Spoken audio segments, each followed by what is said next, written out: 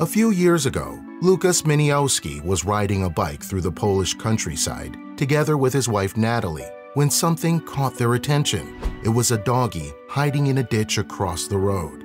They decided to stop and soon realized the dog was injured. He ran, was very awkward, Muniowski said. Her back was in the air. The legs were wobbly and didn't touch the ground. The doggy ran into a ditch covered with a stone. When I was finally able to move the stone and put my hand slowly in there, she smelled it and then put her paws on my hand. They rushed the dog to the vet, where they discovered that she was most likely hit by a car or caught by a hunting trap and had been injured for three to four weeks already. The couple decided to give a dog a chance at life and adopt her. They named her Bobby.